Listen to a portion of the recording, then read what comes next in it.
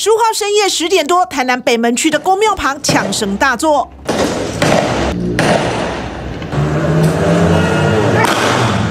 旁民宅不断有人走了出来，他们掏出枪来开火，现场隐约还听得到改装车轰隆隆的引擎声，宛如电影枪战情节在淳朴的渔村上演。民众听到枪声，还误以为是鞭炮声。我是在放炮，我有听到安尼呢，可能九点五、十点五。伊伊应该我有过改过啊，外台车吼，赛过吼，有看赛过，啊，是要赛过啊。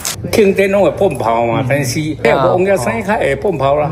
警方获报到场，展开地毯式搜索，任何角落都不放过。诡异的是，现场疑似被清理过，竟然没有留下任何弹壳，甚至连烟蒂都没有。警方漏夜组专案小组侦办，终于逮到七名涉案人，其中一人的轿车被击中，有明显弹孔。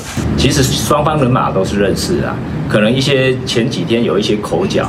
因为小工程上的口角，当地的一般的承包商嘛，是什么样的工程？跟供电有关系吗？他们是外包的小工程啊，啊，也是有一些相关的呃关系。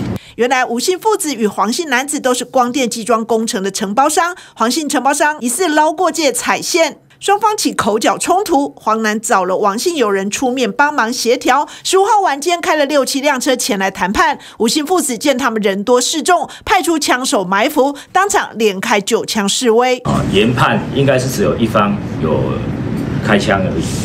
光电利益纠葛爆发枪击，吓坏淳朴居民。目前吴姓祖先还在逃，警方正全面追缉。TVBS 新闻顾守昌台南报道。想看最完整的新闻内容，记得下载 TVBS 新闻网 APP。